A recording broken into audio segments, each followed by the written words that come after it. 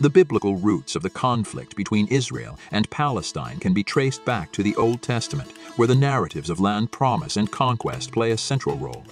According to the Bible, God promised the land of Canaan to Abraham and his descendants. This promise was reiterated to Isaac and Jacob, forming the foundation of the Israelite claim to the land. It's the Exodus story, with Moses leading the Israelites out of Egypt, culminated in the divine guidance of Joshua, who led them into Canaan.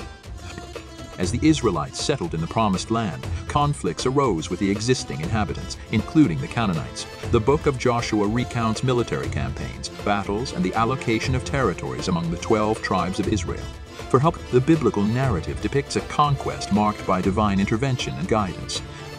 Over time, the Israelites faced challenges, including periods of foreign rule and internal divisions, the Babylonian exile, where the Israelites were deported from their land, and the subsequent return shaped the people's identity and attachment